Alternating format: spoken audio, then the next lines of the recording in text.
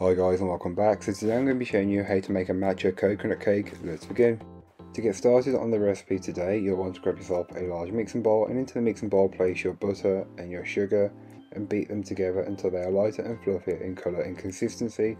This is normally around 7 to 10 minutes but it all depends and varies on the climate that you live in. Once you've achieved light and fluffy, you can then go ahead and add in your eggs one at a time, beating while in between each addition, being careful not to split or scramble the mixture in the process as this can happen if you add them both at the same time, but allow them time to mix and fully work in. You're looking for the mixture to look something like this, so it's pretty well come together.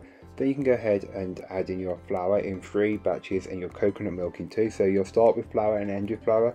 So it goes flour, milk, flour, milk, flour that's what you're looking for. It doesn't need to be in perfectly equal additions, but roughly equal as possible would work best. And you'll notice that your cake batter takes on that classic silky cake batter as you add these ingredients, and that is what you're looking for. It's perfect. Adding your coconut extract, and feel free to add in vanilla extract, extract as well. This will work just well as a base flavour. Then go ahead and give the bowl a good scraping down. This is just to incorporate any bits that may not have been fully worked in from earlier on and just once you've got those incorporated and fully mixed in, you can then go ahead and divide the cake batter between two cake tins. Again, you can do more if you wanted to, but you may need to in increase the amount of ingredients. So today I'm just making a two layer cake. Spread and level them off as best you possibly can and then place them into the oven and bake them off. All that information will be in the blog post which will be linked down below, so don't forget to check it out. To start on the buttercream, you'll want to grab your matcha and add enough vanilla to make a liquid with it. You're not looking for a paste, you're actually looking for a liquid mixture. So mix until you've got this kind of dark, swampy green looking mixture. Set aside until you need it later on. Then you can go ahead and make your French buttercream. Set into a saucepan, place your sugar and water, mix the two together until they are fully incorporated. Then place on the hob and allow them to reach 121 degrees Celsius. While you're waiting for that, you can go ahead and grab yourself a large mixing bowl and place in your egg yolks followed by your egg and whisk these on a high speed until the mixture has quadrupled in volume and it should be much paler and lighter in colour and this is completely normal and what you are looking for. So once your eggs have quadrupled in volume and your sugar mixture has come up to 121 degrees Celsius, you can steadily and carefully pour that into the mixing bowl over a low speed. Once you've added it in, you can turn it up to a high speed and mix until it's fully cold, so the back of your hand can touch the bottom of the bowl. Then add your butter bit by bit until the mixture has thickened. It should look a little something like this. You know, it should be, it should hold its shape and everything very well. Then add in the matcha that you made earlier on and whisk this in until it's fully incorporated. It will take on this beautiful colour and it works really well so it not only flavours but colours it as well.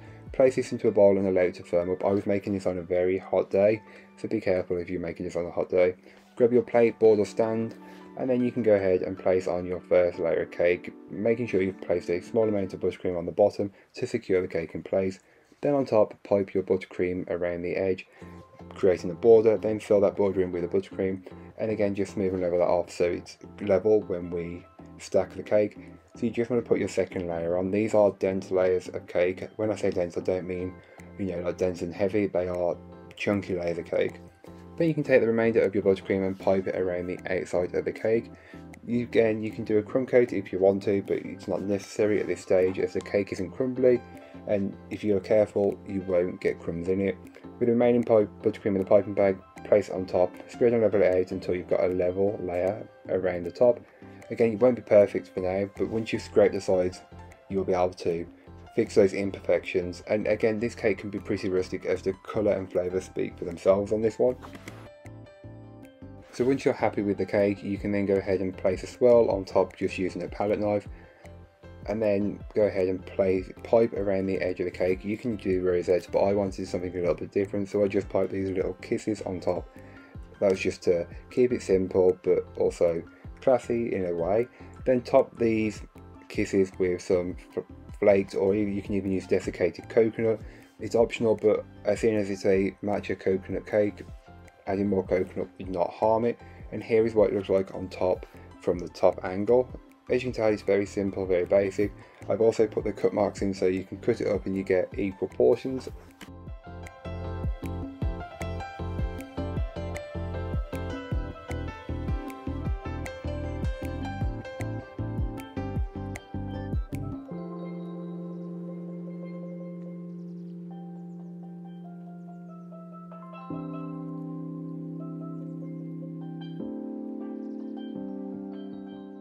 So thank you so much for watching, I hope you enjoyed. If you did, don't forget to like, comment and subscribe for more from me, as I'll be back again very soon with another recipe, so join me then.